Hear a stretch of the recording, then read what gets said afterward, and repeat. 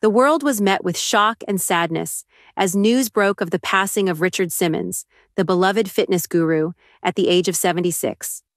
Known for his infectious energy, flamboyant personality, and unwavering dedication to promoting health and wellness, Simmons left an indelible mark on the fitness industry and in the hearts of millions around the globe. Milton Teagle, Richard Simmons was born on July 12, 1948, in New Orleans. Richard Simmons' brother Lenny Simmons recently opened up about the fitness guru's death and its impact on people. During a recent interview about Richard, who died at the age of 76 on Saturday, July 13th, Lenny revealed his late brother's legacy. He explained, I don't want people to be sad about my brother. I want them to remember him for the genuine joy and love he brought to people's lives. He truly cared about people. He called, wrote, and emailed thousands of people throughout his career to offer help. Sending a message to his late brother's fans, Lenny said, So don't be sad. Celebrate his life. Speaking of his brother's death, which came off as a shock to his friends and family, he revealed that Richard was looking forward to taking care of some projects ahead of his death. Lenny told the outlet, he was very excited about all of his upcoming ventures he was working on. We are in shock. Please respect the family at this difficult time. For the unversed, Richard's death was confirmed by his longtime publicist Tom Estey, on Saturday, July 13th, Milton Teagle. Richard Simmons was born on July 12, 1948, in New Orleans, Louisiana. From a young age, Simmons struggled with his weight, a challenge that would ultimately shape his career and mission in life.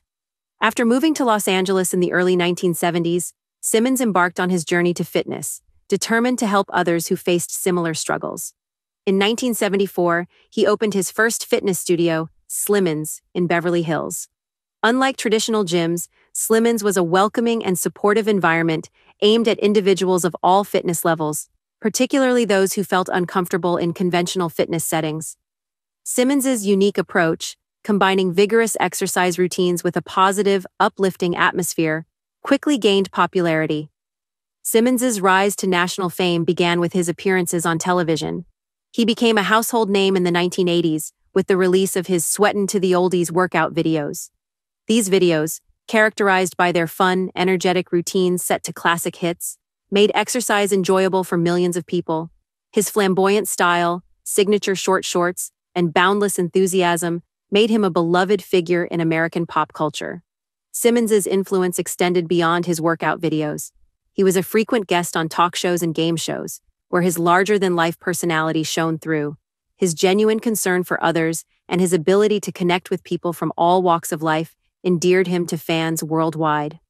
Over the years, Simmons wrote several books on fitness and healthy living, further cementing his status as a fitness icon. Richard Simmons' impact on the fitness industry and the lives of countless individuals cannot be overstated. He was a vocal advocate for healthy living, focusing not just on physical fitness, but also on emotional and mental well-being. His message was clear. Everyone deserves to feel good about themselves, regardless of their size or shape. Throughout his career, Simmons helped thousands of people achieve their weight loss and fitness goals. He often formed deep personal connections with his fans, offering them encouragement and support. His empathy and genuine desire to help others were the cornerstones of his success. In the mid 2010s, Simmons retreated from the public eye, sparking widespread speculation and concern about his well being. Despite rumors and various theories about his withdrawal, Simmons assured his fans that he was fine and simply taking time for himself. He remained a beloved figure, with many people hoping for his eventual return to the public sphere. The news of Richard Simmons's death has prompted an outpouring of tributes from fans, celebrities, and fellow fitness professionals.